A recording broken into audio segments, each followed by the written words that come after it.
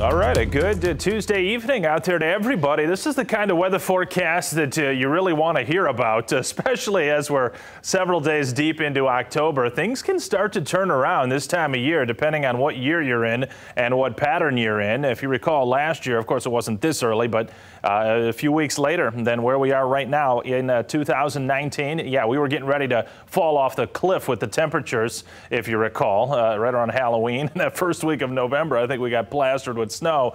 So it can happen just several weeks down the line. We're not there yet, though, and we've got a warm uh, series of days that uh, is unfolding right before our eyes. Water temperatures running from the mid 50s, Muskegon to uh, Grand Haven, and then you get into the lower 60s with the water temps, Holland, Saugatuck, and South Haven. But uh, stay out of the waters here, folks. Today and tomorrow, we've still got a high beach hazard risk for Wednesday, even though the waves will be starting to slacken off through the afternoon and evening. Uh, they're going to hit their peak overnight tonight. A gale warning actually goes into effect at 11 o'clock, uh, which is uh, just 27 minutes away. That'll last until 5 a.m and then we lose the gale warning. Perhaps the National Weather Service could maintain a small craft advisory there uh, into uh, later tomorrow morning. We'll see if they put that up. Nonetheless, improvement with the waves as the winds do come down later tomorrow afternoon and into tomorrow evening. Uh, temperatures right now, how about this? Upper 50s to around 60 degrees, and we're not going to drop off a whole lot in the overnight period. That'll be because of some brisk winds. Uh, you know, stepping outside Grand Rapids right now, it's not as breezy as it was earlier today.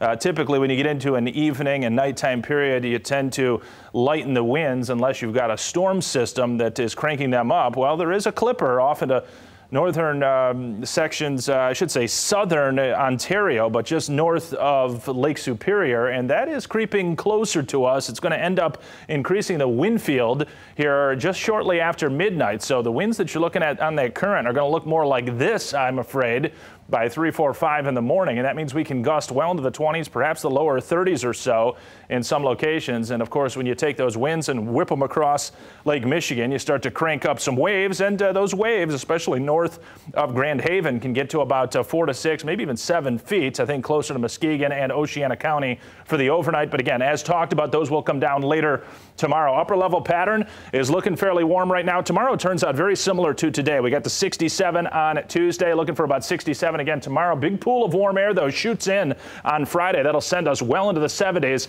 And then what's interesting is that there's a new wrinkle in the maps here today is that a cold front, a backdoor cold front, comes in from Canada. It's not going to have a huge uh, impact on us over the weekend, but I think it does subtract a few degrees from what I was looking at yesterday. So more like the upper 60s to around 70 degrees.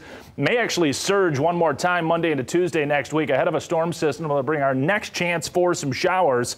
Behind it, it'll go cooler, I think, by Wednesday, Thursday of next week. But overall, the net result is pretty decent.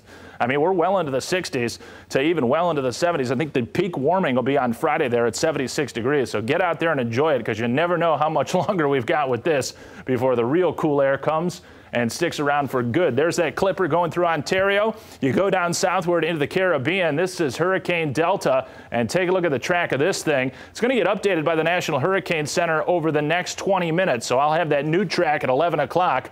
Bottom line is a Category 4 hurricane, perhaps, in the Gulf of Mexico this late in the season.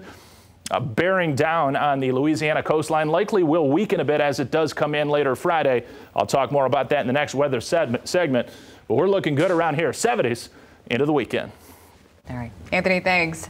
Students at the